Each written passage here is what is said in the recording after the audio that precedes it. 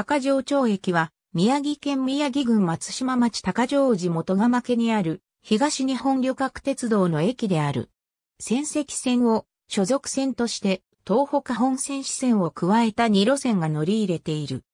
東北本線支線は当駅が終点であるが、接続線を経由して、東北本線塩釜駅、仙台駅方面と仙石線石巻駅方面の直通列車が運行されており、それらの系統は仙石東北ラインの名称で案内されている。2011年の東日本大震災で普通となっていた東駅陸前小野駅間の復旧工事の終了に時期を合わせて東駅付近と東北本線松島駅付近の間に仙石線東北本線接続線を設け、仙石線の石巻駅方面からの列車を東北本線に乗り入れ仙台駅まで直通させる計画が策定された。その後2013年3月25日に国土交通省より認可され、2015年5月30日に仙石東北ラインとして開業した。現在、仙石東北ラインの列車がない時間に接続線を経路に含む 101km 以上の乗車券や定期券で当駅で途中下車して松島駅から再び乗車する方法もある。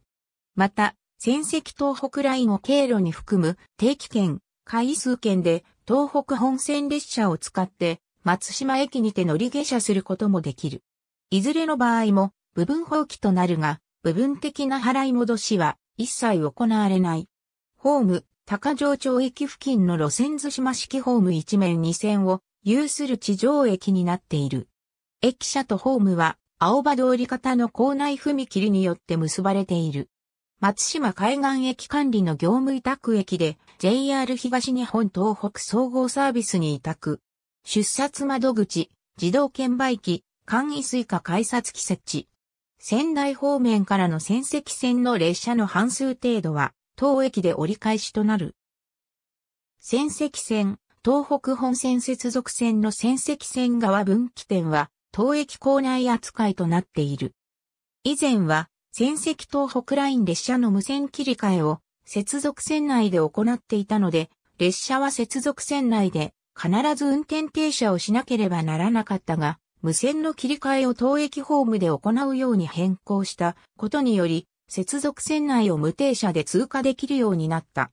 東日本大震災の影響により、2015年5月29日まで、当駅陸前小野駅間は、運転を見合わせ、当駅での折り返し運転を実施していた。矢本駅までの代行バス停留所は、駅から離れた松島町中央公民館前に設置されていたため、列車と代行バスは松島海岸駅で乗り継ぐよう案内されていた。JR 東日本によると、2019年度の1日平均乗車人員は1450人である。近年の推移は以下の通りである。駅は松島町市街地の中にある。東北本線の松島駅は当駅から 1km ほどの距離である。注釈出店。ありがとうございます。